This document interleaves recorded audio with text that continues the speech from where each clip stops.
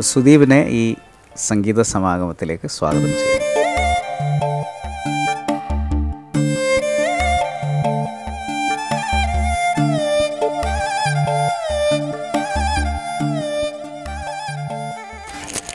സുദീപിനെ introduce ചെയ്ത രണ്ടാളുകളുടെ ഇടയിലാണ് ഇപ്പോൾ. അതെ. എന്താ പറയാനുള്ളത് സുദീപിന്? എനിക്ക് ഒരുപാട് സന്തോഷമുണ്ട്. കാര്യം വിനയൻ സാറിനെ ഞാൻ പരിചയപ്പെട്ട് കുറച്ചു കാലം കഴിഞ്ഞപ്പോൾ തന്നെ അദ്ദേഹം ആദ്യം എനിക്ക് തോന്നുന്നു സാറിനെ വിളിക്കുന്നത് ദൈവത്തിന്റെ മകൻ എന്ന് പറഞ്ഞ സിനിമയുടെ റെക്കോർഡിങ്ങിന് വേണ്ടിയിട്ടാണ് ഒരു ദിവസം. സാർ അതിന് മുമ്പ് ആലപ്പുഴ വെച്ച് കണ്ടതിന് ശേഷം. അതെ അതെ. ആകാശഗംഗയുടെ ഓഡിയോയിൽ ഞാനൊരു പാട്ട് പാടിയിരുന്നു. അപ്പോൾ അത് സിനിമയിലുള്ളതല്ല ഒരു ജോണി സാഗരികയുടെ ഓഡിയോയിലൊരു ഫില്ലർ സോങ്ങായിട്ട് വന്നതാണ്. അപ്പോൾ അത് കഴിഞ്ഞ് സാറിനെ ഞാൻ ഫോണിൽ പരിചയപ്പെടുമ്പോൾ എന്നോട് പറയുന്നത് നീ പിന്നെന്താണ് എന്നെ വന്ന് കാണാത്തത്? എന്നാണ് ചോദിച്ചത്. സുരേന്ദ്രന്റെ മകനാന്ന് അറിയത്തില്ല. ഒന്നും പറഞ്ഞിട്ടില്ല. അത് കഴിഞ്ഞപ്പോഴത്തേക്ക് സാർ എന്നോട് പറഞ്ഞു ദൈവത്തിന്റെ മകന്റെ റെക്കോർഡിങ്ങിന് ഒരു പാട്ടുണ്ടെന്ന് പറഞ്ഞിട്ട് പിന്നെ വിളിച്ചിട്ട് പറഞ്ഞു അല്ലേ വേണ്ട നീ പാടണ്ട കാര്യം. ഈ പാട്ട് എനിക്ക് ചിലപ്പോൾ സിനിമയിൽ ഉൾപ്പെടുത്താൻ പറ്റില്ല. അപ്പോൾ വീണ്ടും ഒരു പാട്ട് നീ പാടിയിട്ട് സിനിമയിൽ വരാതെ പോകണ്ട. എന്ന് പറഞ്ഞിട്ട് ഉമ്മപ്പെണ്ണി ഉരിയാടെ പയ്യനായപ്പോഴാണ് മോഹൻചേട്ടനെ പരിചയപ്പെടുന്നത്. മോഹൻചേട്ടനാണെങ്കിൽ ഒരു ഒരു പുതിയ പാട്ടുകാരൻ ചെന്നാൽ ഉള്ള ഒരു ഒരു പ്രഷറും എനിക്ക് തന്നില്ല. ഒരു ഓഡിഷനോ കാര്യങ്ങളോ ഒന്നും ഉണ്ടായിരുന്നില്ല. ഒരു പാട്ടൊന്നും പാടി കേൾപ്പിക്കാനും പറഞ്ഞില്ല. പാടി എന്തെങ്കിലും സി ഡി ഉണ്ടോയെന്നോ അങ്ങനെ ഒന്നും ചോദിച്ചില്ല. നേരെ രണ്ട് പാ വിനയ സാർ പറഞ്ഞത് മോഹൻചേട്ടൻ ആ അർത്ഥത്തിൽ തന്നെ എടുത്തിട്ട് എനിക്ക് രണ്ട് പാട്ടുകൾ അപ്പം തന്നെ പറഞ്ഞു തരും പിന്നെ എനിക്ക് അത് കഴിഞ്ഞ് ഞാൻ എന്റെ ഒരു സുഹൃത്തുമായിട്ടാണ് അന്ന് റെക്കോർഡിങ്ങിന് വന്നത്. തിരിച്ചു പോരുമ്പോഴത്തേക്ക് ഞാൻ അയാളോട് ചോദിച്ചു ഇത്രയേ ഇത്രയുള്ള ഈ റെക്കോർഡിങ് എന്ന്? ഞാൻ അതിനെ കുറച്ച് കാണില്ല. അത്ര പോലും എന്നെ ഒട്ടും ഒരു ഹെവിനെസ് എനിക്ക് തരാതെ ഒരു വളരെ പെട്ടെന്ന് തന്നെ മോഹൻചേട്ടൻ ആ പാട്ട് ഒരു പ്രഷറും തരാതെ പാടിക്കുകയായിരുന്നു. അധരം സഖി എന്ന് പറഞ്ഞ പാട്ട് വളരെ പെട്ടെന്ന് തന്നെ കൊണ്ട് പാടിച്ചു. എനിക്ക് തോന്നുന്നു ആ പടം നമ്മൾ കുറേ പേര് അതിനകത്തും കൊണ്ടുവന്നവരാണ്. അതെ അതെ. ജയസൂര്യ എന്ന് പറയുന്ന നായകൻ അതിനകത്തുല ഇന്ദ്രജിത്ത് എന്ന് പറയുന്ന വില്ലൻ അതിനകത്തുല വന്നത്. കാർത്തിക എന്ന് പറയുന്ന കുറെ പുതിയ ആൾക്കാരെ ഞങ്ങൾ ആ പടത്തിൽ കൊണ്ടുവന്നു. പക്ഷെ അത് പിന്നെ എനിക്കെന്ന് പറഞ്ഞാൽ എന്താ പറയുക ഇപ്പൊ പുതിയ ആൾക്കാർ വന്ന് പാടാണെങ്കിലും ഞാൻ ഒരിക്കലും ഒരു വഴക്ക് പറയില്ല. അവർ വളരെ സന്തോഷമാക്കിയിട്ട് കാരണം മോളെ അല്ലെങ്കിൽ മോനെ എന്നൊക്കെ പറഞ്ഞ് വളരെ നമ്മളെ എന്തോ പെറ്റാക്കും. അല്ല ചില അത് ശരിയല്ല. ഇങ്ങനെയെന്ന് പറഞ്ഞാൽ അവർ ടെൻഷനായി പാട്ടൊക്കെ കുഴപ്പമായി. കാരണം ഒരാളുടെ ലൈഫ് ചിലപ്പോൾ ഒരു ആ പാട്ടുകൊണ്ട് ചിലപ്പോൾ അവർക്ക് ഭയങ്കരമായിട്ട് കയറി പോവാം അപ്പോൾ നമ്മളായിട്ട് ടെൻഷൻ കൊടുത്തിട്ട് അത് പണ്ടൊക്കെ അങ്ങനെ ചെയ്തിട്ടുണ്ടാണ് അന്ന് നമുക്ക് അത്ര ഒരു അത്രേ ഉള്ളൂ കുറച്ച് ഇതിനോട് കൂടുതൽ അടുക്കും തോറാണ് നമുക്ക് നമ്മളൊന്നും അല്ല നമുക്കൊന്നും അറിയില്ല എന്നുള്ളൊരു അവസ്ഥ വരുന്നത്. അപ്പോൾ ഞാൻ പുതിയ ആൾക്കാരും നമ്മൾ ഇൻട്രൊഡ്യൂസ് ചെയ്യുമ്പോൾ അവർക്ക് പറഞ്ഞ് പാട്ട് പറഞ്ഞു കൊടുക്കുമ്പോൾ ഒരിക്കലും ഞാൻ അവരെ ഒരിക്കലും വേദനിപ്പിക്കാനോ ടെൻഷൻ കൊടുക്കാനോ ഒന്നും വഴക്ക് പറയാനോ ഒന്നും ചെയ്യില്ല. അതുപോലെയാണ് സുധീർ. എന്ന് വെച്ചാൽ ഞാൻ സാധാരണ ഒരു പാട്ട് ആരെങ്കിലും വന്നാൽ ഞാൻ അവരെ കൊണ്ട് പാടിച്ചു നോക്കും. ഞാൻ പിന്നെ സീഡിൽ ഞാൻ വാങ്ങിച്ച് കേൾക്കില്ല കാരണം ഇപ്പോൾ റെക്കോർഡിങ്ങിന് നമുക്ക് അറിയാലോ എങ്ങനെയൊക്കെയാണെന്ന്. ഒരു ഒരു വാക്ക് കഴിഞ്ഞ അടുത്ത വാക്ക് പറ്റിയത് അല്ലെങ്കിൽ എഡിറ്റ് പിന്നെ ഓട്ടോ ട്യൂണിങ് വരെ കറക്റ്റ് ശരിയാണ് അപ്പോൾ അത് എന്ന് വെച്ചാൽ അപ്പോൾ നമുക്ക് നേരിട്ട് കേൾക്കണം. പിന്നെ അതുപോലെ നമ്മൾ ഉദ്ദേശിക്കുന്ന ഫീലുള്ള വോയിസ് ആണ് അല്ലെങ്കിൽ അതുപോലൊക്കെ അതുപോലെ ആ ഫീലിൽ പാടാൻ പറ്റുമെന്നൊക്കെ നമ്മൾ നോക്കും. അപ്പോൾ വിനയേട്ടൻ പറഞ്ഞത് കൊണ്ട് കാരണം വിനയേട്ടനത് അറിയാം. അതിനെപ്പറ്റി അറിയും. അപ്പോൾ പിന്നെ ഇങ്ങനെ അതിനകത്ത് പിന്നെ ഒരു ഒരു ഇതുമില്ല. അപ്പോൾ ഞാൻ സ്ട്രേറ്റ് സുദീപ് എന്താ സുദീപ് അല്ലേ സുദീപിനെ കൊണ്ട് പാടുകയും ചെയ്തത് അല്ല അതല്ലാതെ നമ്മൾ ഏതോ പടം എടുത്തപ്പോൾ ഒരു മാപ്പിളപ്പാട്ട് ഒരു കുട്ടിയെ ഇൻട്രൊഡ്യൂസ് ചെയ്തില്ലേ മോഹൻ? ഞാൻ ഒരു- കൊച്ചു കുട്ടി. കുട്ടി എനിക്കിപ്പോഴും നല്ല ഓർമ്മയുണ്ട്. ഞാൻ പറയാൻ കാര്യം ഈ മോന് ഞാൻ വേറെ മ്യൂസിക് ഡയറക്ടേഴ്സും വേറെ ആൾക്കാരെ ഇൻട്രൊഡ്യൂസ് ചെയ്യുന്നുണ്ട് ഞാൻ എനിക്കറിയാം. അപ്പോൾ അവരോടൊക്കെ സംസാരിക്കും ഒരു പാട്ട് കഴിഞ്ഞാൽ ആ സായുടെ അറ്റം രായുടെ ഇങ്ങേ അറ്റം ശരിയായില്ല എന്നൊക്കെ പറഞ്ഞിട്ട് മനസ്സിലായോ? ഒരു കാര്യമില്ല നമ്മുടെ ഈ റിയാലിറ്റി ഷോ ഇവർ എന്ന് പറയുന്ന ലൈൻ മനസ്സിലായോ? മറ്റേ അത് കയറിയത് ശരിയായില്ല ഇറങ്ങിയത് ശരിയായില്ല എന്നൊക്കെ പറയും. അപ്പോൾ ഇവർക്കാകെ ടെൻഷനാകും മോൻ ഒരിക്കലും അങ്ങനല്ല. കുഴപ്പമാണെങ്കിൽ കൂടി മോനെ മൂന്ന് പ്രാവശ്യം കുഴപ്പമില്ല മോനെ പാടാൻ പറയും. മാക്സിമം ഒക്കുമോ എന്നുള്ളത് ട്രൈ ചെയ്യും. അതാണ് എപ്പോഴും വേണ്ടത്. ഒരാളെ നമ്മൾ കൊള്ളത്തില്ല എന്ന് പറഞ്ഞ് മാറ്റാനായിട്ട് പെട്ടെന്ന് പറ്റും. അതിൽ നിന്ന് മാക്സിമം ഊറ്റിയെടുക്കാനൊരു വലിയ മിടുക്കനാക്കരുത്. മോനെ. അപ്പോൾ സുദീപ് നമുക്ക് അധരം സഖി ഒന്ന് പാടാം. പാടാം.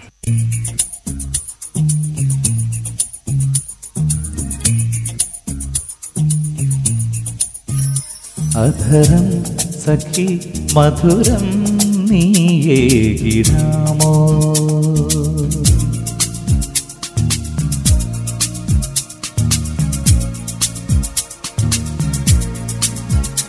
അധരം സഖി മധുരം നീയേകിടാമോ മിഴിയാം കടൽ തിരയിൽ ഞാൻ നീന്തി വന്നു. ഹൃദയം നിൻമണിമാറിൽ ഒരു ഹാരം ഓർ ചൂടാം. വരു നീരാകലോലേ ഓ ഓ. അധരം സഖി മധുരം നീയേകിടാമോ മിഴിയാം കടൽ തിരയിൽ ഞാൻ നീന്തി വന്നു?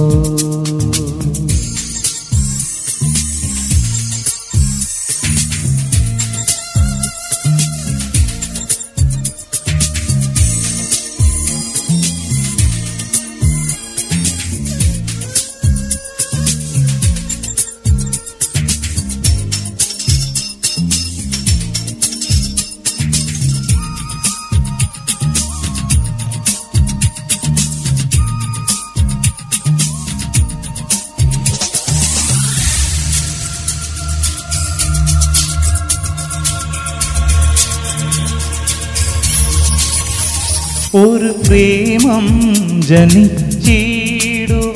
ചില നിമിഷങ്ങൾ മാത്രം.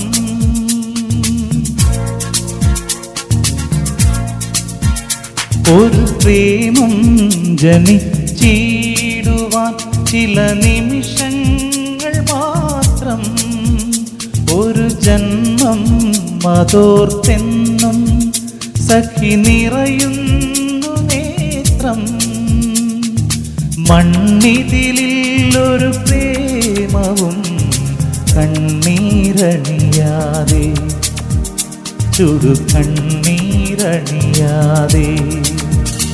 അധരം സഖി മധുരം നീയേകിടാമോ നിഴിയാം കടൽ തിരയിൽ ഞാൻ നീന്തി വന്നു.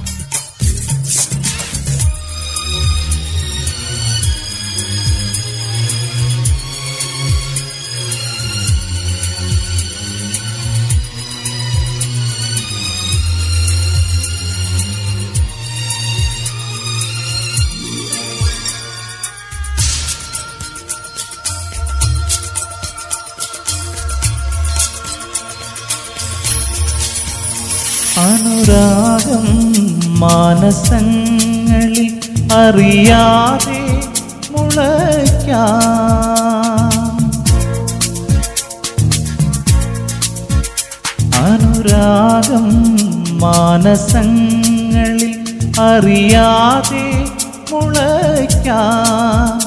മധുരിക്കും വിഷാദത്തിൻ മധുകരളിൽ നിറയ്ക്കാം. സ്വയംവരമായതു മാറിടാം. സ്വപ്നം പോൽ കൊഴിയ. ഒരു സ്വപ്നം പോൽ കൊഴിയ. അധരം സഖി മധുരം നീയേകിടാമോ മിഴിയാം കടൽ തിരയെ ഞാൻ നീന്തി വന്നു. ഹൃദയം നിൻ മണിമാറി ഒരു ഹാരം പോൽ ചൂടാം. വരു ഓ,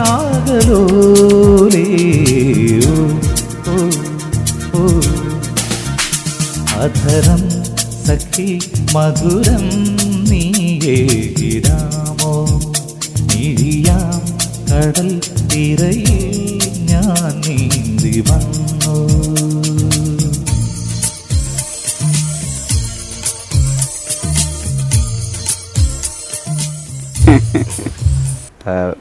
എന്ന് പറയുന്നത് അദ്ദേഹം വെറും ഡയറക്ടർ മാത്രമല്ല അദ്ദേഹം ലിറിസിസ്റ്റുമാണ്.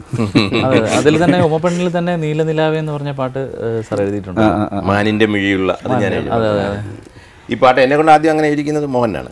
നീലനിലാവ് എന്നുള്ളത് എനിക്ക് തോന്നുന്നു യൂസഫിലിക്ക ഇല്ലാത്ത സമയത്ത് ട്യൂൺ ഇട്ടപ്പോൾ ഞാൻ ഡമ്മി എഴുതാ നീലനിലാവെ നീ കേഴുകയാണോ നീറുകയാണോ നീ നെഞ്ചകുന്നു അപ്പോൾ പറഞ്ഞു ഏട്ടാ ഇത് നമുക്ക് പാടിക്കാം. അങ്ങനെ യൂസഫലിക്ക അപ്പോൾ ആ പാട്ട് എഴുതിയപ്പം മാനിന്റെ മിഴിയുള്ള പെണ്ണിനെ പ്രേമിച്ച ചെറുമന്റെ കഥ പറയാം. അതും അങ്ങനെ തന്നെ ഡെമ്മി ആയിരിക്കും ഞങ്ങൾ ഫിക്സ് ചെയ്ത പാട്ട. ആ പാട്ടിന്റെ ആ ട്യൂണിങ് നല്ല രസമായിട്ടുള്ള ഒരു പ്രത്യേക ഒരു ഫാസ്റ്റ് അതുപോലെ തന്നെ എനിക്ക് അത് ആ സമയത്ത് തന്നെ അതിന്റെ അടുത്ത വിനേഷ് സാറിന്റെ അടുത്ത കാട്ടുചെമ്പകത്തിൽ എനിക്കൊരു വേറെ ആർക്കും കിട്ടിയിട്ടില്ലാത്തൊരു ക്രെഡിറ്റ് എനിക്ക് കിട്ടിയിട്ടുള്ളത്. മോഹൻചേട്ടൻ പാടിയ പാട്ട് വിഷ്വലി പാടി അഭിനയിച്ച് പാട്ട് ഞാൻ പാടിയത്. നീലവാനം കൂടെ പിടിച്ചേന്ന് പറഞ്ഞൊരു പാട്ട്. എന്റെ ടൈറ്റിൽ സോങ് ആയിരുന്നു. അഭിനയിച്ചു. മോഹൻചേട്ടനാണ് അഭിനയിച്ചിരിക്കുന്നത് ആ പാട്ട്. നടൻ കൂടിയാണ്. പക്ഷെ അതെനിക്ക് ആ സിനിമയുടെ ടൈറ്റിൽസ് ആണ്. അപ്പോൾ അത് ടി വിയിൽ അതുകൊണ്ട് ആ സമയത്ത് അധികം വന്നിട്ടില്ല ആ പാട്ട്. അതുകൊണ്ടാണ് ഒരു പക്ഷേ അത്ര കണ്ട് ആളുകൾ നോട്ടീസ് ചെയ്യാത്തതെന്ന് എനിക്ക് തോന്നുന്നു. പക്ഷെ നല്ല പാട്ടായിരുന്നു. നല്ല നല്ല മെലഡിയുള്ള ഒരു പാട്ടായിരുന്നു. പിന്നെ വേറൊരു നല്ല പാട്ട് സാറിന്റെ പടത്തിൽ പാടി. അത് എന്റെ ഒരു നിർഭാഗ്യവശാൽ അത് വന്നില്ല. മീരയുടെ ദുഃഖവും മുത്തുവിന്റെ സ്വപ്നവും എന്ന പടത്തിൽ. മ്യൂസിക്കിൽ അത് പിന്നെ മംഗളം നേരാം ഞാൻ എന്റെ ചെല്ല ചെറുകിളിയേ കുങ്കുമം ചാർത്താം ഞാൻ എന്റെ മുല്ല മലക്കൊടിയേ ഒരു പാട്ട് എടുത്തത് നമ്മൾ ആ പാട്ട് ലാസ്റ്റ് മിനിറ്റിൽ അത് സിറ്റുവേഷൻ സിറ്റുവേഷൻ മാറിയിട്ട് അത് ഷൂട്ട് ചെയ്തു. എന്നിരുന്നെങ്കിൽ ഒരു പക്ഷേ ഞാൻ വലിയൊരു ഒരു എനിക്ക് ബ്രേക്ക് ആവുമെന്ന് ഞാൻ വിചാരിച്ചൊരു പാട്ടായിരുന്നു. സുദീപിന് ഇനിയും ധാരാളം അവസരങ്ങൾ ഉണ്ടാവേണ്ടതുണ്ട്. ഉണ്ടാവും സുദീപ് ഈ പറഞ്ഞ എനിക്ക് ഇനിയും ഉണ്ടാകേണ്ടതായിരുന്നു ഇനി ഉണ്ടാകട്ടെ. ഇതിൽ കൂടുതൽ സുദീപിന് ഇപ്പോഴേ കിട്ടേണ്ടതായിരുന്നു ഒത്തിരി ചേഞ്ചുള്ള ഒരു വോയിസും ശരിക്കും ഒരു പത്ത് വർഷമായി ഉണ്ടാവില്ല പത്ത് വർഷമായി. പത്തില്ല? ആ രണ്ടായിരത്തി കറക്റ്റ് പത്ത് വർഷമായി. പത്ത് വർഷമായി. പക്ഷേ നമ്മൾ സുദീപ് എന്താ പറയാ എവിടെ എത്തേണ്ട ഒരു സമയം കഴിഞ്ഞില്ല ശരിക്കും. അത് ഞാൻ പറഞ്ഞില്ലേ കുറച്ചൊക്കെ ലക്കൊക്കെ കുറച്ചൊക്കെ ബാധകമാണ് സിനിമയ്ക്ക് മെയിനായിട്ടുള്ളൊരു കാര്യം. അതിൽ തന്നെ വേറെ പാട്ടുണ്ടോ? അതിൽ ഇല്ല ഞാൻ അതിലെ മറ്റേ പാട്ട് അത് മുല്ലയ്ക്കു കല്യാണ പ്രായമായെന്ന തെന്നൽ കൂറി പൂകിട്ടി ടൈറ്റിൽ ടൈറ്റിൽ നീലനിലാവേ പാടി ദാസേട്ടനായിരുന്നു അതെ. നീലനിലാവേ നീ കേഴുകയാണോ? അതൊന്ന് പടം കേഴുകയാണോ മുഴുവനായിട്ടാ നീറുകയാണോ? നിന്നെഞ്ചകമെന്നും ഒരു സാന്ത്വനമായി ഒരു ഗദ്ഗതമായി ഗദ്ഗതമായി ഞാൻ പാടുകയാണ് പാടുകയാണ് പാടുകയാണ് ഈ ഗാനങ്ങൾ അത് ചേട്ടനെഴുതിയത് ചേട്ടൻ എഴുതിയത് അതിന്റെ ആ പല്ലവി പാടും. ഓർമ്മയുണ്ടോ? പകുതി വരെ അറിയാം. പാടുകയാണ് ഈ ഗാനം ട്യൂൺ എനിക്ക് പാടുകയാണ് ഈ ഗാനങ്ങളല്ല ശോകങ്ങൾ. പാടുകയാണ് ഈ ശോകം അതുപോലെ വിനയൻജിയുടെ ഒരു പിന്നെ ഗാനരചന എന്ന് പറയുന്ന വൈഭവം കൂടി കണ്ട സിനിമയാണിത്. അതെ അതെ. അപ്പോൾ അതെങ്ങനെയാണ് വന്നത്? സാധാരണ ഞാൻ ഞാൻ പാട്ടിങ്ങനെ ഒരു ഒരു പാട്ടൊക്കെ ഒരു പടത്തിൽ ഇങ്ങനെ എഴുതാറുണ്ട്. ഞാൻ സിനിമയ്ക്കകത്ത് വരുന്നത് തന്നെ നാടകത്തിന് പാട്ടൊക്കെ എഴുതി പ്രൊഫഷണൽ നാടകത്തിന് പാട്ടൊക്കെ എഴുതിയാണ് എനിക്ക് കലാരംഗത്തോട്ടുള്ള പ്രവേശനം തന്നെ അപ്പം ഇത് വളരെ രസകരമാണ്. യൂസഫ്ലിക്ക ആണ് എഴുതിക്കൊണ്ടിരുന്നത്. അപ്പം ഞങ്ങൾ കമ്പോസിങ്ങിലിരിക്കും. അങ്ങനെ യൂസഫ്ലിക്ക വരുമ്പോഴത്തേക്ക് നമ്മൾ ചിലപ്പോൾ ഒരു ട്യൂൺ യൂസഫ്ലിക്ക അറിയാ അറിയാതെ ഡെമ്മി എഴുതി നോക്കും. പാടി മോഹനൻ. ആ. ഞങ്ങൾ നോക്കും. അങ്ങനെ ഒരു ഡെമ്മി എഴുതിയതാണ് ഈ പാട്ടിന്റെ. അപ്പം മോഹൻ പറഞ്ഞ ലിറിക്സ് നന്നായിട്ടുണ്ടല്ലോ ഏട്ടാ ഫീൽ ചെയ്യുന്നുണ്ട്. കാരണം ആ സോറി അല്ല ചേട്ടാ സിറ്റുവേഷൻ പറഞ്ഞപ്പോഴേ അതിനപ്പുറം വാക്കുകൾ നമുക്ക് ഉണ്ടാവില്ല കറക്റ്റ് ആ മൂളിലുള്ള അതൊക്കെ അപ്പൊ ചോദിച്ചു തന്നെ ഓക്കെ ചെയ്യില്ലെന്നല്ലേ കേട്ടോ അത് പറഞ്ഞു. അല്ലെ ഒരു നൊമ്പരമായി എൻ ഗദ്ഗതമായി ഞാൻ പാടുകയാണ് ശോകങ്ങൾ എന്ന് പറയുന്ന പാട്ട്. മോഹൻ എനിക്ക് തോന്നുന്നത് വളരെ കണ്ണൊക്കെ നിറഞ്ഞു. ഇദ്ദേഹം ഭയങ്കര സെന്റിമെന്റൽ കക്ഷിയാണ്. പെട്ടെന്ന് ഫീൽ ചെയ്യും. മനസ്സിലായോ? അത് എനിക്ക് തോന്നുന്നു ഭയങ്കര ഫീലിംഗ് ഉണ്ടാക്കിയൊരു ദാസേട്ടനും അത് നല്ല ഫീൽ ചെയ്ത് ചെയ്തു. പാടി. അതിന്റെ പിക്ചറൈസേഷനും അങ്ങനെയായിരുന്നു. അല്ലേ? ഫീൽ ചെയ്തിട്ടുണ്ടായിരുന്നു. ഉമ്മപ്പെണ്ണിനകത്തൊരു ഗ്രിപ്പായ ഒരു സിറ്റുവേഷൻ ആയിരുന്നു. കമ്പോസിങ് ചെയ്യുന്ന സമയത്ത് ഞാൻ പിന്നെ അപ്പോൾ തൃശ്ശൂർ വരുന്ന വഴിക്ക് ചുമ്മാ തെരുവിലോ പിള്ളേർക്ക് ഭയങ്കര ഫീൽ ചെയ്തു. കാരണം ഈ തുണിയൊക്കെ വിരിച്ചിട്ട് ഒരു ഡോലൊക്കെ വെച്ചിട്ട് ഏതൊരു ഒരു വയസ്സായാളും ഒരു കൊച്ചുകുട്ടി എന്നെ എടുത്തിട്ടൊരു ഒരു അമ്മയും യാചിക്കുന്ന ഒരു ആ മൂഡ് വെച്ചിട്ട് ശരിക്കും ഉണ്ടാക്കിയൊരു പാട്ടാണ് ശരിക്കും. പടത്തിൽ കണ്ടപ്പോഴും അങ്ങനെയൊക്കെ അത് അതന്നെ അതന്നെ. അതെയാ അത് സിനിമയിലും അതേ രീതിയിൽ തന്നെ അതെ അതെ മോഹൻ എന്നോട് പറഞ്ഞു ഞാൻ ഇങ്ങനത്തെ ഇത് പിന്നെ ഉണ്ടാക്കാൻ നേരത്തെ ഞാൻ ചില വിഷ്വൽസ് കണ്ടിരുന്നു. അത് വിനേട്ടൻ അത് പിക്ചറൈസ് ചെയ്തപ്പോൾ അത് തന്നെ വന്നല്ലോ ഭയങ്കര ഫീൽ ചെയ്തല്ലോ. പിന്നെ മാളാരവന്നിന് ഭയങ്കര ഒരു മാളയ്ക്ക് ഇഷ്ടപ്പെട്ട പാട്ട്. പിന്നെ ഇപ്പോഴും എന്നെ ഫോൺ ചെയ്തിട്ട് മാള ആദ്യം പറയുന്നത് നീലനിലാവാണി എന്നാണ് അങ്ങനെയുണ്ട്. ചില പാട്ടുകൾ അങ്ങനെ മനസ്സിൽ തട്ടുമല്ലോ. അതെ അതെ അതെ. നമുക്ക് അതേ ഫീലിൽ സുദീപിൽ നിന്ന് ആ പാട്ട് കേൾക്കാം. അതെ അതെ അതെ.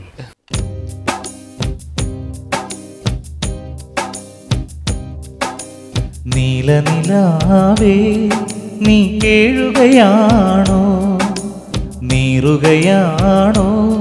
നിന്നെഞ്ചകമെന്നും ഒരു നൊമ്പരമായി എൻ ഗദ്ഗതമായി ഞാൻ പാടുകയാണീ ശോകങ്ങൾ.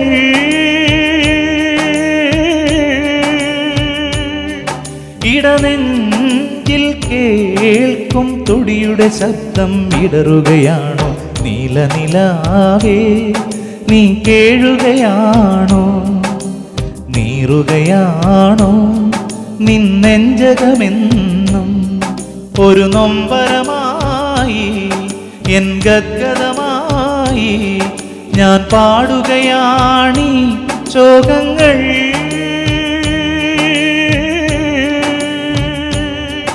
ഇടനെഞ്ചിൽ കേൾക്കും തുടിയുടെ ശബ്ദം ഇടറുകയാണ് നീലനിലാവേ നീ കേഴുകയാണോ? നീറുകയാണോ? നിന്നെഞ്ചകമെന്നും ഫീലുണ്ട്. താങ്ക് യു ഇതിനുശേഷം എനിക്ക് തോന്നുന്നു മോഹനനും ഏത് പടം വരുമ്പോഴും ഒരു പാട്ട് വിനേട്ടൻ ഏതോ ഏതോ? എല്ലാ പടം വരുമ്പോൾ ഒരു പാട്ട് എഴുതണമെന്ന് പറയും ഇതിന് ശേഷം. അതെ അതെ. അങ്ങനെ എഴുതിയിട്ടുണ്ട് രാക്ഷസ എല്ലാ പടത്തിലും അങ്ങനെ ഒരു പാട്ട് എഴുതാറുണ്ട്. സ്വപ്നം ത്യജിച്ചാൽ അതെല്ലാം അതെല്ലാം ഹിറ്റുമാണ് ഈ പടത്തിൽ തന്നെ ഈ പാട്ട് പടത്തിലൊരു പാട്ടുണ്ടല്ലോ. മാനിന്റെ മിഴികൾ. അത് ഡിഫറെന്റ് മ്യൂസിക്കാണ്. ആണ് അതെ അതെ അതെ. രണ്ട് പാട്ട് ഞാൻ എഴുതി.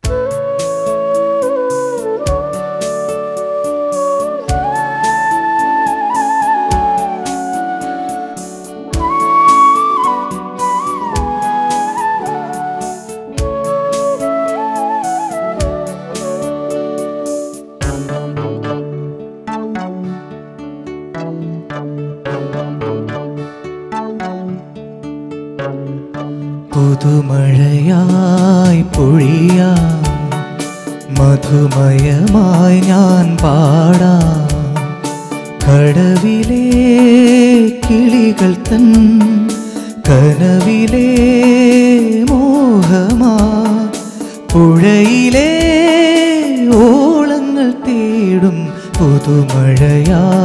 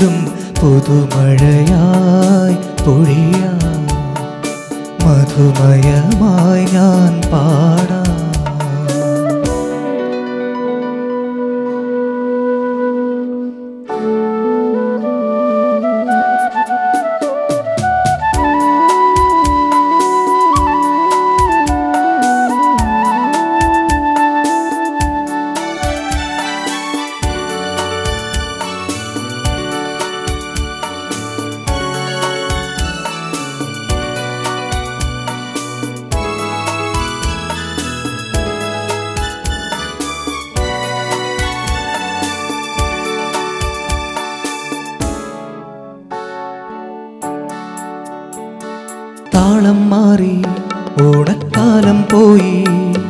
വേലക്കാവിൽ വർണക്കോലം മാറി.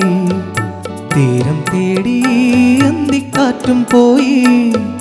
കൂട്ടിനായി കൂടാരം മാത്രം ഉൾക്കൊടുന്ന ഇതിലാത്മനൊമ്പരമിതേറ്റു ഞാനിന്നു പാടാം. ഉൾക്കൊടുന്ന ഇതിലാത്മനൊമ്പരമിതേറ്റു ഞാനിന്നു പാടാം. പുതുമഴയായി പൊഴിയാ. മധുമഴയായി ഞാൻ പാടാം.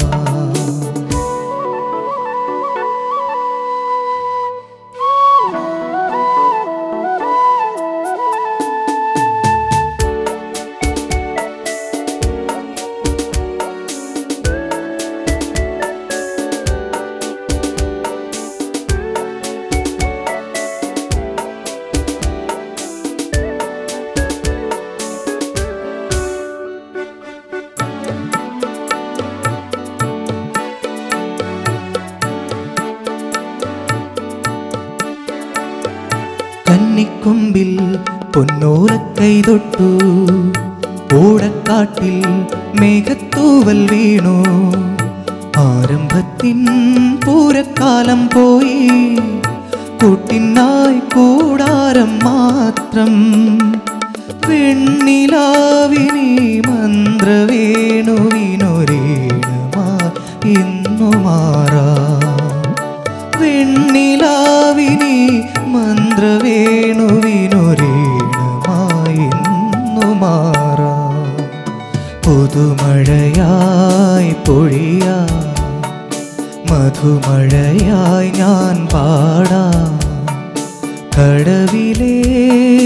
കിളികൾ തൻ കനവിലെ മോഹമാ പുഴയിലെ ഓളങ്ങൾ തേടും പുതുമഴയായി പൊഴിയ.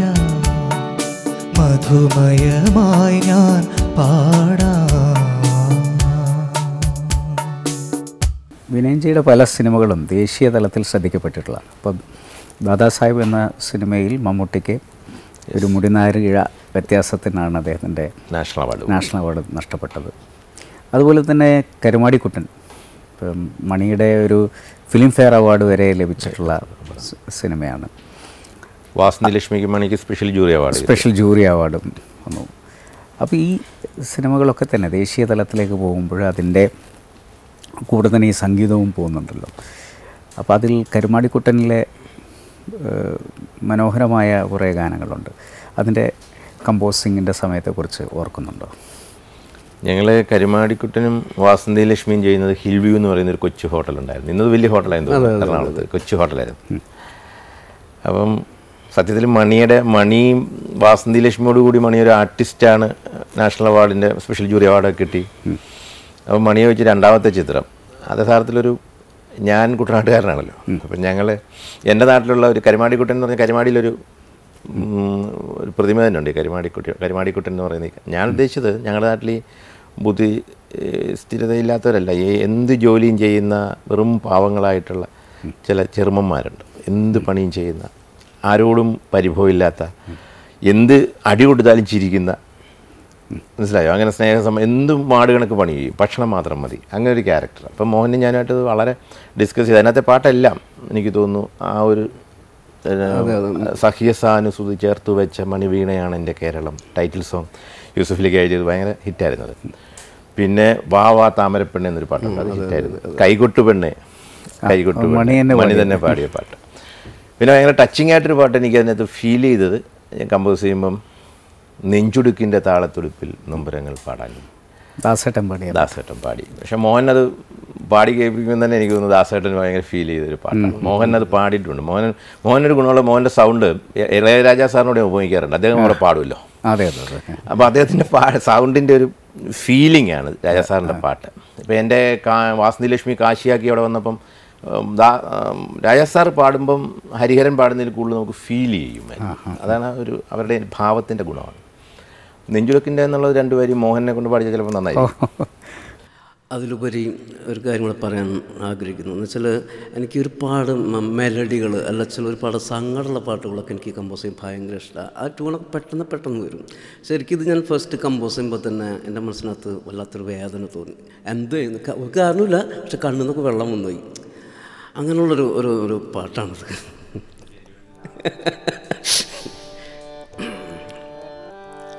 നെഞ്ചുടുക്കിന്റെ താളത്തുടിപ്പിൽ നൊമ്പരങ്ങൾ പാടാ.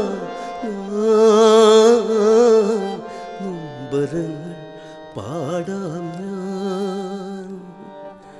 നെഞ്ചുടുക്കിന്റെ താളത്തുടിപ്പിൽ നൊമ്പരങ്ങൾ പാടാം. നൊമ്പരങ്ങൾ പാടാം ഞാൻ. സുഖത്തിലല്ല ദുഃഖത്തിലല്ലോ. പാട്ടെ നിന്റെ മണിക്കിലുക്കം പാട്ടെ നിന്റെ മണിക്കിലുക്കം നെഞ്ചുടുക്കിന്റെ താളത്തൊടിപ്പിൽ നൊമ്പരങ്ങൾ പാടാം ഞാൻ നൊമ്പരങ്ങൾ പാടാം ഞാൻ. എന്റെ ജന്മഗ്രഹമായ മോഹന്റെ നാവിൻ തുമ്പിൽ നിന്ന് തന്നെ കേൾക്കുമ്പോൾ അതെ അതെ അതെ തീർച്ചയായിട്ടും. ഒരു ഫീൽ ഉണ്ട് ഭയങ്കരമായിട്ട്. അതുപോലെ നമ്മൾ കമ്പോസ് ചെയ്യുന്ന പല പാട്ടുകളും നമുക്ക് ആ ഫീൽ കിട്ടാറ് പോകാറുണ്ട് ചില പാട്ടുകൾ നമ്മൾ പ്രതീക്ഷിക്കാത്തതിനേക്കാൾ കൂടുതൽ ഫീൽ ചെയ്യുന്നു അതൊരു പക്ഷെ പാടുന്ന ആൾക്കാരുടെ അപ്പുറത്തെ ഒരു അവസ്ഥ അനുസരിച്ചിട്ടായിരിക്കും ചിലപ്പോൾ. പിന്നെ ചില പാട്ട് പടത്തിൽ വന്നു കഴിയുമ്പം സിറ്റുവേഷന് ഭയങ്കരമായിട്ട് ചേർന്നതായിട്ടാണെങ്കിൽ അത് അത് പിന്നെ എല്ലാം കൊണ്ടും അങ്ങ് ഒത്തു. ഈ പാട്ടിന് അങ്ങനെ ഒരു ഗുണമുണ്ടായിരുന്നു. മണിയുടെ ഏറ്റവും ഒരു പത്തറ്റിക് കണ്ടീഷനിൽ ഉള്ള മണിയുടെ ഒരു പാട്ടായിരുന്നു നമുക്ക് ഈ ദേശീയ അവാർഡ് കിട്ടിയ ആ പാട്ടുണ്ടല്ലോ. വാസന്തി ലക്ഷ്മി. വാസന്തി ലക്ഷ്മിയില്ലേ ശാന്തിപൂട്ടും എം ജി ശ്രീകുമാറിന് അതെ അതെ. നാഷണൽ അവാർഡ് കിട്ടിയ പാട്ട്. ആ പാട്ടിനെ കുറിച്ച് എന്താ പറയാനുള്ളത്? അല്ല അത് ഈ ആ പാട്ടെന്ന് വെച്ചാൽ ആക്ച്വലി മണി ഈ വാസന്തിലക്ഷ്മിയിലെ അന്ധന അന്ധനായിട്ട് അവതരിപ്പിക്കാൻ എനിക്ക് തോന്നുന്നു മണിയല്ലാതെ ആരെ അവതരിപ്പിച്ചാലും എന്നോട് ഇവിടുത്തെ അന്ന് നില സൂപ്പർ സ്റ്റാറുകളോട് പറഞ്ഞാണ് ഞങ്ങൾ നീ എന്തേ പറയുന്നത് അന്ന് മണി കോമഡിയനാണ് ഇത്രയും ഒരു പതറ്റിക് കണ്ടീഷനിൽ ത്രൂ ഔട്ട് ദുഃഖം നിറഞ്ഞൊരു കഥ മണിയെ വെച്ചാൽ എങ്ങനെ ശരിയാകുമെന്ന് എന്നുള്ള സ്നേഹം കൊണ്ട് തന്നെ ഉപദേശിച്ചൊരു പോലുണ്ട് പക്ഷെ ന- നമുക്കത് മണിയല്ലാതെ മണി ഞങ്ങളുടെ ഡിസ്കഷൻ ത്രൂ ഔട്ട് ഉണ്ടായിരുന്നു. ആ പടത്തിന്റെ ത്രൂ ഔട്ട് ഡിസ്കഷനിലുണ്ടായിരുന്നു ഈ കല്യാണ സൗഗന്ധി എന്ന് പറയുന്ന പടം ഞാൻ ഷൂട്ട് ചെയ്തുകൊണ്ടിരിക്കുമ്പം ഈ ഉച്ചയ്ക്ക് ഭക്ഷണം കഴിക്കുന്ന സമയത്ത് എല്ലാവരെയും ചിരിപ്പിക്കാനായിട്ട് ഈ മണി എന്നിങ്ങനെ കോമഡി കാണിക്കുന്ന ഒരാളാണ് വന്നതല്ലേ ഉള്ളൂ. സല്ലാപത്തിൽ അങ്ങോട്ട് ജസ്റ്റ് വന്നേ ഉള്ളൂ അപ്പം ഒരു അന്ധൻ എങ്ങനെ റോഡ് മുറിച്ച് കിടക്കുന്നത് ഇദ്ദേഹം നമ്മളെ കാണിക്കുക. അന്ധൻ റോഡും മുറിച്ച് കിടക്കുന്ന മാനറിസ് ഇപ്പോൾ വണ്ടി വരുന്നു. ഹോണൊക്കെ പുള്ളി തന്നെ കൊടുക്കും ബ്രേക്ക് ഔട്ടുന്നു പുള്ളി ഇങ്ങനെ നടന്ന് നടന്ന് നടന്ന് ഓപ്പോസിറ്റ് വരുന്ന. ചുമ്മാ കാണിച്ചതാണ് കോരിത്തിരിച്ചു പോയി. കാരണം നമ്മൾ പറഞ്ഞ അന്ധൻ നിന്നെ കണ്ടു പഠിക്കേണ്ട അവസ്ഥയാണ് അത്ര രസമായിരിക്കും എന്റെ അന്ന് പറഞ്ഞതാണ് നമ്മളൊരു അന്ധന്റെ കഥ ചെയ്യുന്നു മണി. മനസ്സിലായി? ശരി. അത് കഴിഞ്ഞിട്ട് രണ്ടോ മൂന്നോ പടം കഴിഞ്ഞപ്പം ദിലീപിനെ വെച്ചിട്ട് രണ്ടോ മൂന്നോ പടം കഴിഞ്ഞിട്ട് ഞങ്ങൾ വാസന്തി ലക്ഷ്മി ആകാശഗംഗ എന്നുള്ളൊരു ഹൊറർ പടം കഴിഞ്ഞിട്ടല്ലേ? അല്ലേ വാസന്തി ലക്ഷ്മി പ്ലാൻ ചെയ്യാൻ. ഈ ചാന്തുപൊട്ട് നമ്മൾ നാഷണൽ അവാർഡ് സത്യത്തിൽ കിട്ടുമെന്നൊന്നും പ്രതീക്ഷിച്ച് ഒന്നുമല്ല. ആക്ച്വലി അത്. കേട്ടപ്പം ആ പടത്തിൽ ആലിലക്കണ്ണയ്ക്കാണ് നമുക്ക് ആല്ലക്കണ്ണ ആലിലക്കണ്ണ എന്നുള്ള സോങ്ങിനാണ് കിട്ടാൻ പോകണമെന്നൊക്കെ ആയിരുന്നു. ചിലപ്പോൾ അത് കിട്ടിയേക്കും. ഞാൻ തീർച്ചയായിട്ടും തീർച്ചയായിട്ടും വിചാരിച്ചു മോഹൻ സിത്താരയ്ക്ക് നാഷണൽ അവാർഡ് കിട്ടും. ആ പടത്തിലെന്നാണ്. കാരണം അതിന് അത്രയ്ക്ക് റീ റെക്കോർഡിങ് ഭയങ്കര ടച്ചിങ് ആയിരുന്നു ആ പടത്തിൽ മോൻ അന്ന് വേറെ ഇൻസ്ട്രുമെൻസ് ഒന്നും വളരെ നാച്ചുറൽ ഇൻസ്ട്രുമെൻസ് മാത്രം ഉപയോഗിച്ച് ചെയ്ത ഒരു റീ റെക്കോർഡിങ് ഒക്കെ ആയിരുന്നു. പക്ഷേ ചാന്തുപൊട്ടും ചങ്ങയിലും അസാധ്യമായിട്ടും എം ജി സുമാർ പാടിയിട്ടുണ്ടായിരുന്നു. പക്ഷെ നമ്മുടെ മനസ്സിൽ സിറ്റ് കഥയുടെ സിറ്റുവേഷനൊക്കെ ഉണ്ടായിരിക്കും. നമുക്ക് ഏറ്റവും കൂടുതൽ ഇമ്പ്രസീവ് ആയിരുന്നത് ആലിലക്കണ്ണ അല്ലേ? അതെ പാടി കഴിഞ്ഞപ്പോൾ തന്നെ മോൻ പറഞ്ഞ് ചാന്തുപൊട്ടും ചങ്ങല ഉദ്ദേശിച്ചാലും അത് ഇച്ചിരി പാട പാടാൻ ഇച്ചിരി ബുദ്ധിമുട്ടുള്ള ഒരു പാട്ടാണ് അല്ലേ അത് നന്നായിട്ട് പാടിയിട്ടുണ്ട്. ഫോക്ക് ടച്ച് ഉള്ളതുകൊണ്ടായിരിക്കും അത് അതെന്റെ പ്രണയമാണ്. അതെ അതെ. കാണാത്ത കാമുകിയെ കുറിച്ച് അന്ധൻ പാടുന്നൊരു പാട്ടാണ് ആ പാട്ട് നമുക്കൊന്ന് കേൾക്കാം. കേൾക്കാം. നമ്മുടെ സംഗീതം നമുക്ക് വേണ്ടി പാടും. തീർച്ചയായും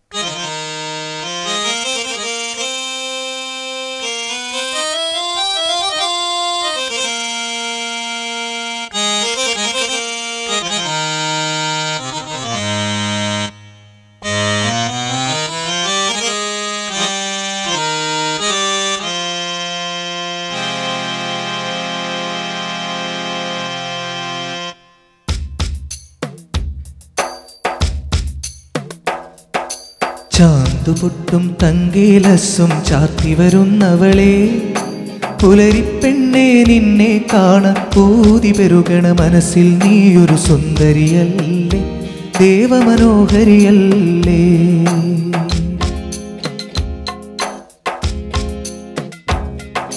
ചാന്തുപൊട്ടും തങ്കേലസും ചാർത്തി വരുന്നവളെ. പുലരിപ്പെണ്ണെ നിന്നെ കാണാൻ പൂതി പെരുകണ മനസ്സിൽ നീ ഒരു സുന്ദരിയല്ലേ ദേവമനോഹരിയല്ലേ നീ ഒരു സുന്ദരിയല്ലേ ദേവമനോഹരിയല്ലേ.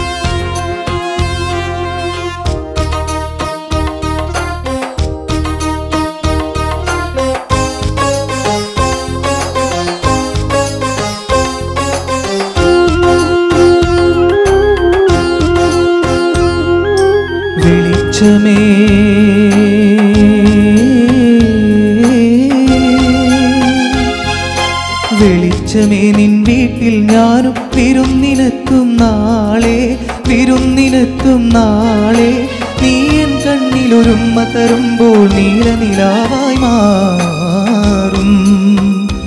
ഞാനൊരു നീല നിലാവായി മാറും. ചാന്തുപൊട്ടും തങ്കേലസ്സും ചാർത്തി വരുന്നവളെ.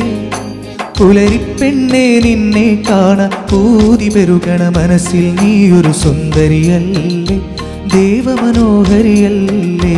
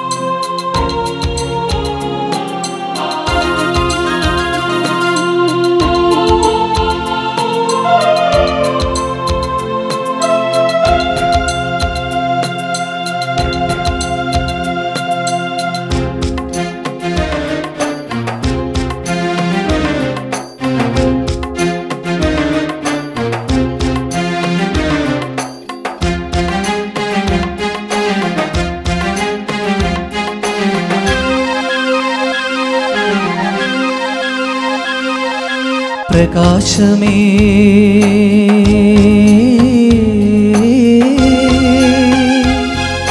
പ്രകാശമേ നിന്നമ്പല നടയിൽ നെയ്ത്തിരിയൊഴിയും ഞാൻ നെയ്ത്തിരിയൊഴിയും ഞാൻ. തുറന്നു വയ്ക്കും ഞാൻ എൻ മിഴികൾ അടയ്ക്കുകില്ല മേലിൽ ഞാൻ അടയ്ക്കുകില്ല മേലിൽ ചാന്തുപൊട്ടും തങ്കേലസും ചാത്തി വരുന്നവളെ.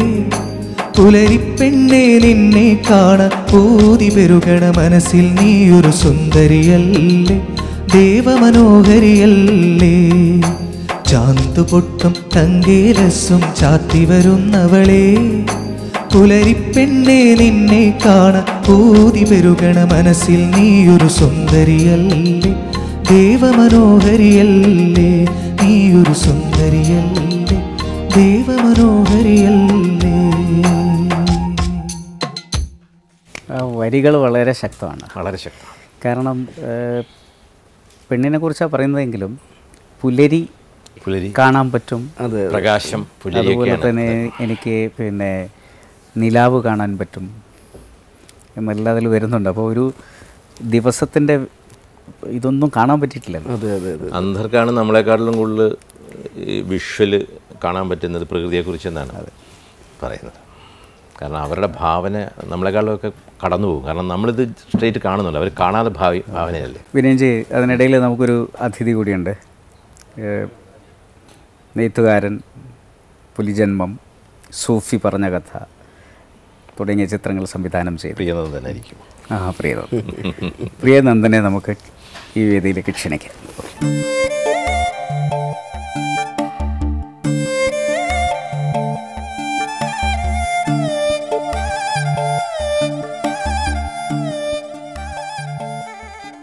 സംഗീത സമാഗമത്തിലേക്ക് സ്വാഗതം. ഇന്ന് മോഹൻ സിതാരയാണ് നമ്മുടെ സ്റ്റാർ. അദ്ദേഹത്തിന്റെ ചിത്രങ്ങളെക്കുറിച്ച് പറയുമ്പം സൂഫി പറഞ്ഞ കഥയും അതിനകത്ത് വരുന്നുണ്ട്. അപ്പോൾ ഒന്ന് രണ്ട് അനുഭവങ്ങൾ പറയാം. ഞങ്ങളിപ്പോൾ വിനയൻജിയുടെ സിനിമകളുടെ പാട്ട് പതിമൂന്നോളം സിനിമകൾ ഒരുമിച്ച് ചെയ്തു. ഇനിയും അതിൽ പാട്ടുകൾ അവശേഷിക്കുന്നു. പക്ഷെ അതിനിടയിൽ നമുക്ക് ആ അനുഭവങ്ങളൊന്ന് പങ്കുവെക്കാം. മോഹനേട്ടന്റെ പാട്ടുകൾ വളരെ മുമ്പേ തന്നെ നമ്മൾക്ക് ഇഷ്ടപ്പെട്ട ആളാണ് ഞാൻ. വളരെ ആദ്യം ഉള്ള പാട്ടുകൾ നമ്മൾ ശ്രദ്ധിക്കാറുണ്ട്. പക്ഷേ എന്റെ സിനിമയിൽ രണ്ട് സിനിമയിലും പാട്ടുണ്ടായിരുന്നില്ല. ആദ്യമായിട്ടാണ് പാട്ടുള്ളൊരു സിനിമയാണ് സൂഫി പറഞ്ഞ കഥ. അത് എപ്പോഴും നമ്മളെ ഏതൊരാളെ പോലെ നമ്മളും മോനേട്ടന്റെ പാട്ടുകൾ അല്ലെങ്കിൽ മോനേട്ടൻ കൂടെ ചേരണമെന്ന് ആഗ്രഹിക്കുന്ന ഒരാളായിരുന്നു. അത് വളരെ വ്യത്യസ്തമായിട്ട് സിനിമയ്ക്ക് ഇപ്പോൾ ഏറ്റവും വലിയ ഭാഗ്യം എന്ന് പറഞ്ഞാൽ ചിലപ്പോൾ ഏഹ് സ്റ്റേറ്റ് അവാർഡ് കിട്ടാൻ നിമിത്തമായത് ആ സിനിമയാണ് സൂഫി പറഞ്ഞ കഥയിലെ പാട്ടാണ്. അതൊരു നിമിത്തം എന്നേ ഞാൻ പറയുന്നുള്ളൂ. വളരെ സന്തോഷം നമ്മൾക്ക് വളരെ കാലമായി കൂടിച്ചേരണമെന്ന് ആഗ്രഹിച്ച ഒരാൾ വളരെ വ്യത്യസ്തമായി ഈ സിനിമയിൽ പാട്ടുണ്ടാക്കിയത് സന്ദർഭത്തിന് വേണ്ടിയിട്ടാണ് ഒരു കഥ പറയാൻ വേണ്ടിയിട്ടാണ് ഞാൻ അതിൽ പാട്ട് ഉപയോഗപ്പെടുത്തിയിട്ടുള്ളത്. കാർത്തിയുടെയും മാമ്മൂട്ടിയുടെയും പ്രണയം. അത് വളരെ മനോഹരമായിട്ട് എനിക്ക് ചെയ്തു തന്നു. വളരെ സന്തോഷമുണ്ട്. കാരണം വളരെ നമ്മളെന്ത് ആഗ്രഹിക്കുന്നുവോ നമ്മളെന്ത് പറയുന്നു അതിന്റെ അപ്പുറത്തേക്ക് എത്തിച്ചു തന്നു എന്നുള്ളതാണ് എന്റെ ഏറ്റവും സന്തോഷമായിട്ടുള്ളൊരു കാര്യം. അത് ശരിക്കും അതിന്റെ സിറ്റുവേഷനാണ് നമുക്കൊരു പാട്ട് നന്നാക്കാൻ പറ്റുന്നത്. നല്ല ആപ്റ്റ് ഒരു വളരെ നന്നായി ചെയ്യാൻ പറ്റുന്നൊരു സിറ്റുവേഷനായിരുന്നു അത്. പ്രിയൻ- പ്രിയൻ വളരെ നന്നായി വിഷ്വൽ ചെയ്തിട്ടുണ്ട് അത്. ആ സിറ്റുവേഷൻ ആദ്യം പറഞ്ഞു തരികയായിരുന്നു? അതെ. പറഞ്ഞു പിന്നെ പിന്നെ അയ്യോ ലിറിക്സിന്റെ പേര് മറന്നുപോയി. ഷർബാനി. അല്ല അത് എഴുതിയ റഫീഖ് അഹമ്മദ്. റഫീഖ് റഫീഖാണ് അത്.